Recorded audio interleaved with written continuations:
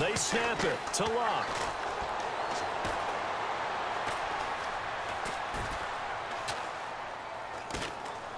Flushed out right.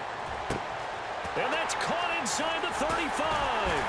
And he'll get this one down near the 20-yard line.